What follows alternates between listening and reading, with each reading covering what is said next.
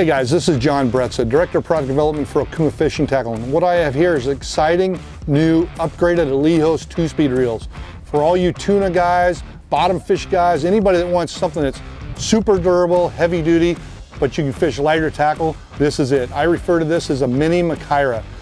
So what we've done with the, the Alijos updates is that we've taken the dual force drag system that's in the Makaira and we've mirrored that inside the new Alijos.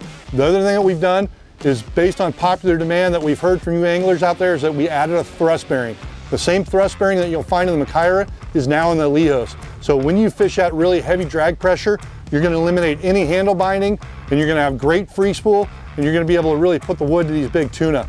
The other thing that we've also done is that one of the keys to the Makaira drag system is a drag cam and the actual ramp and what it can actually achieve from free spool to strike, but more importantly, from strike to full when that fish is in the death circle.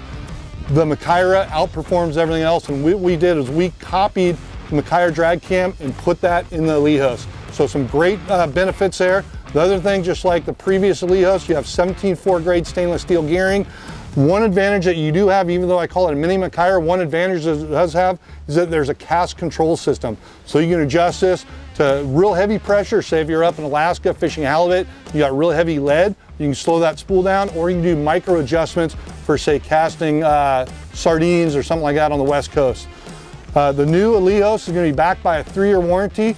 This product is now shipping and in the dealer's hands right now. If you wanna find out more information on the Alijos, check it out on okumafishingusa.com.